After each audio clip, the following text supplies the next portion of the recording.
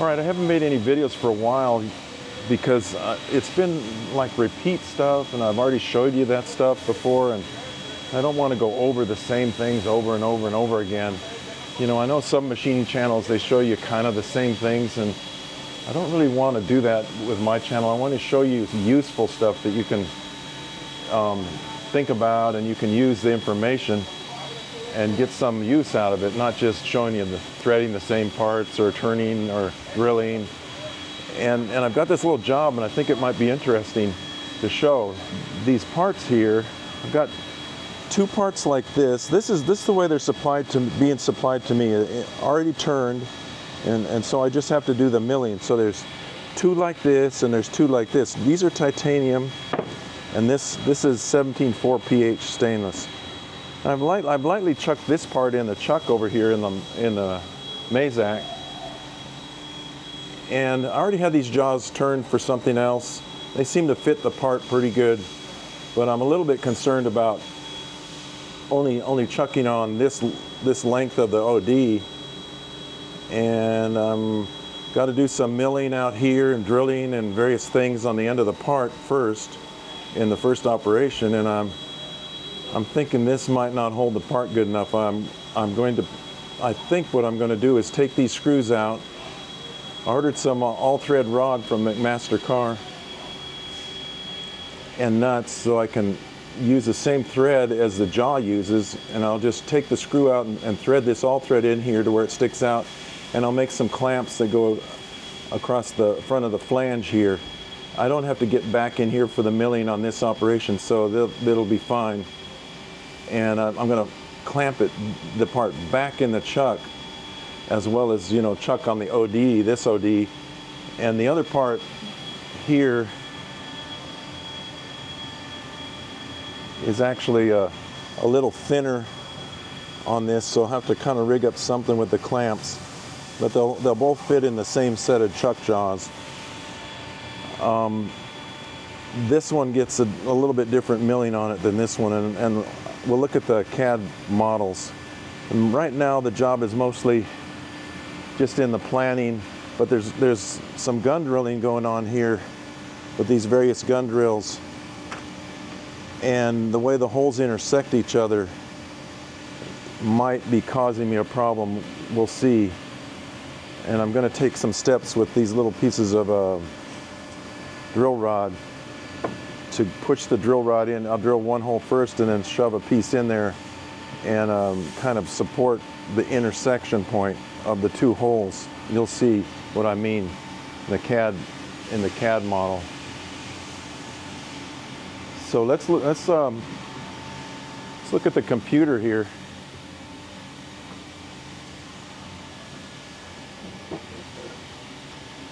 And we'll see um, the various different, you know, the two different parts, the models of them, and what I'm talking about here. So this is mostly just a uh, video about planning this job because these are the things I go through when I first start a job. I've got to figure out, you know, how to ex exactly do this in the, in the order of operations, if you will, to do the job. So let's look at the computer um, screenshots and we'll kind of get an idea of what I'm planning here. All right, here's the model like of the part that you saw in the chuck right now, which this is the 17.4 pH part. And let, let me show you what the stock looks like, which you saw on the bench there. So this key and the, all of this OD is going to be machined away right here to form that, that uh, key in the part. And so that's going to be a little bit of not heavy milling, but it's going to be putting force on the part, and that's you can see the reason I don't want to uh, just chuck onto that part. The rest of this on the on the end is mostly drilling. There's a counterbore here and and some holes here, and they're probably not too bad, and that might work with the part just chucked the way it is. But I, I want to come uh, uh, down this OD from the end of the part, rotating the C-axis with a long, longish end mill. I think the, the distance from, well, let's just measure it here, from this to here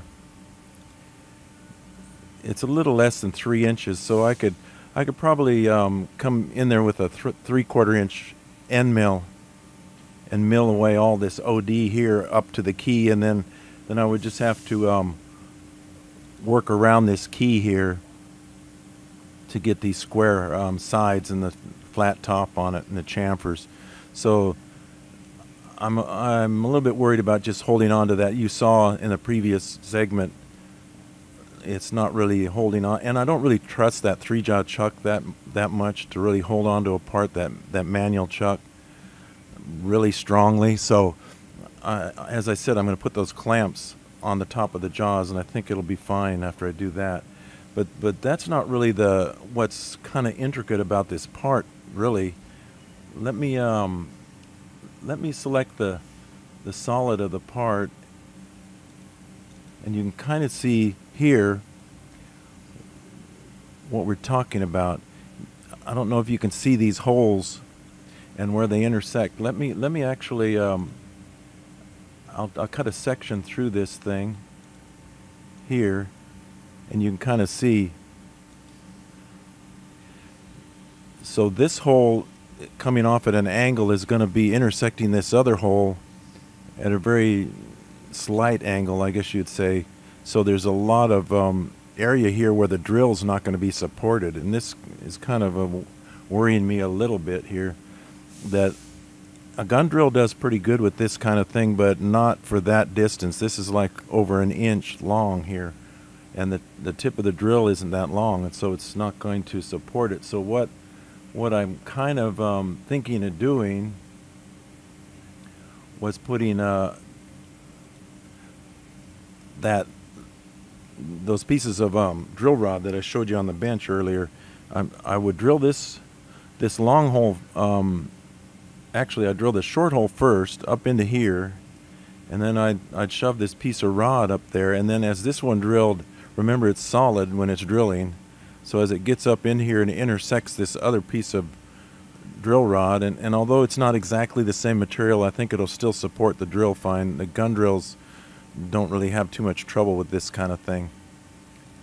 So so it would uh it would support the drill as it goes down through here. So that would be for that hole and then the other hole and this this particular piece would be supporting that drill so I drill this hole first where the where you see the orange slug I guess you call it in there and then I would drill this other hole right here and it intersects that and it helps support the drill as it passes by this intersection point otherwise I have a feeling that it would break the drill and cause trouble. So, so that's sort of my idea there. There's also some special tools that have to be made to do this. That these are um, these ports here. Well, I, I, I always used to call these like autoclave engineering ports because what they do is there's there's a thread on this OD here, and the um, and this 60 degree taper, which usually is made. I usually make it with like a center drill or something. Um, seals on on a conical tip on the end of the tubing, and they and they thread this in here in such a way that it pushes that conical tip in there in this in this area here, and it uh, makes a metal to metal seal. These are for very high pressure um, ports. You know, they they go like uh, 20, 30, 40,000 psi with these things. So that's that, but this this here they they specified the bottom of this um, counterbore for the thread to have this five degree taper or on it, and that is a little bit new for me. I've never done that before on this kind of a port, but anyway, they're calling it out, so I have to make a tool. Basically, I'm going to grind an end mill that'll cut that um and have that five degree angle on the tip and I can go in there and just kind of mill a circle and then come in here with a center drill and spot that hole. So not too big a deal, but just something that has to be done because of the way they drew this part. So these particular bores over here have, have close tolerances and finishes, these ones, and that has, to, so they're going to have to be bored. But the rest of this is pretty straightforward. It's just going to be um, this milled counter bore, and there's a 3 8 hole that goes all the way through there. And then there's these two, I think these holes, I don't remember, on one of the parts these are threaded holes. Maybe it's on this other part. I think this part, they're threaded holes, half 13s. So that's kind of the, the I guess you'd call the semi um, sort of tricky part about this these parts is these these holes are intersecting at these very slight angles and so I have to kind of think about the order to do this in because otherwise you'd be breaking your drills you know if you do it in the wrong order so in this case on this one I'm going to drill this hole first where you see the orange slug and then I'll come in and I'll drill this hole afterwards on that one as well. So so these parts are kind of. Well, let me turn the um, part transparent here so you can kind of see what's happening. So that that hole that orange slug there you would you would need to drill one hole and then the other one there's another one in here that intersects the other set of holes from these counter bores that come in from the other end of the part. Now, I, I don't know what they're doing with this part or anything, so I can't really say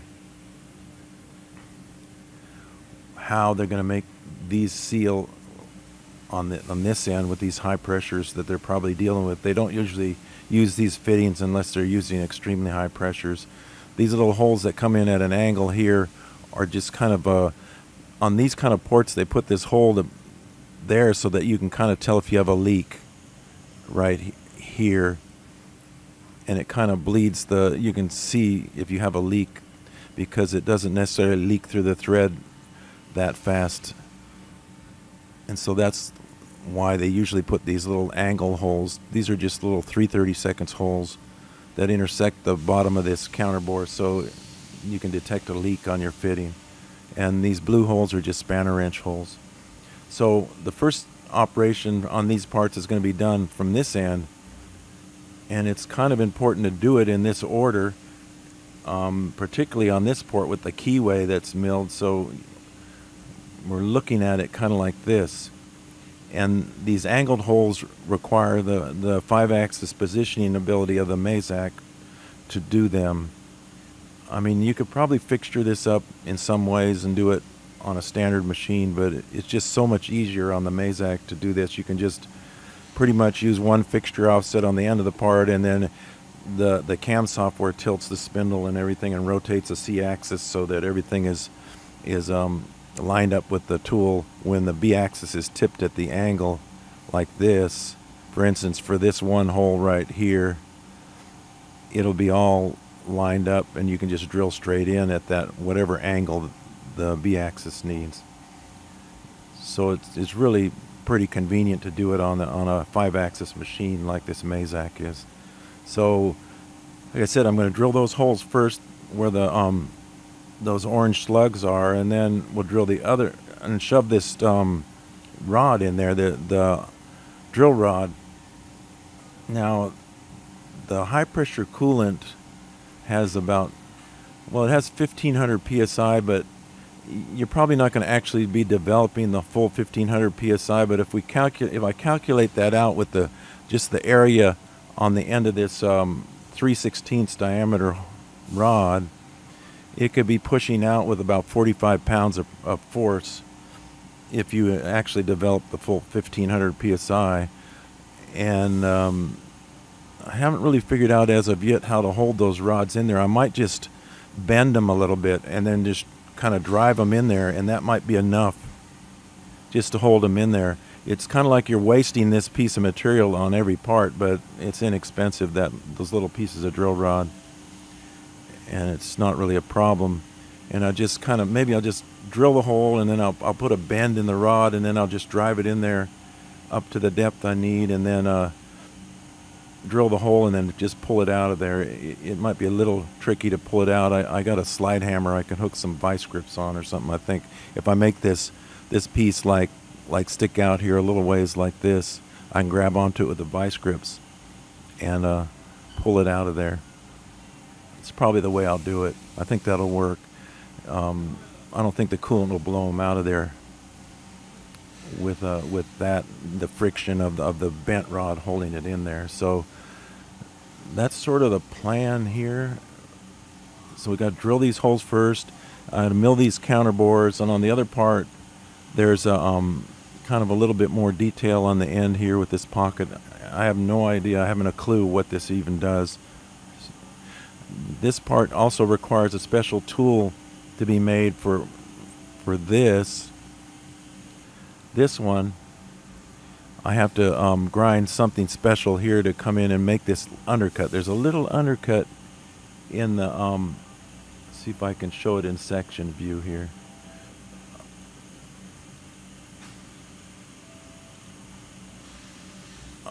Under here, and it requires kind of a little special cutter to do this. You can kind of see it there on the um,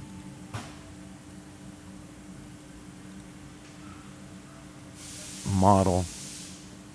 And I kind of just drew up this little cutter to do that there which I, I got to grind these tools on the grinder to do it. I mean maybe I could buy this I don't know but it's just as easy for me to grind it so this end's going to be done first like this. I'm going to do all this milling on the end of both of these parts on both parts on this end.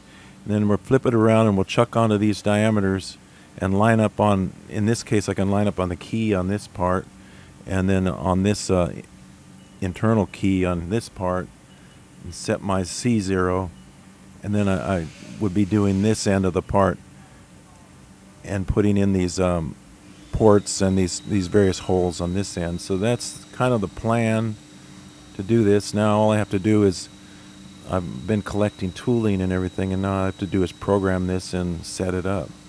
So these are the kind of things I kind of go through looking at. And like I say, this particular job, it's the intersecting holes that are, are going to be the real issue here.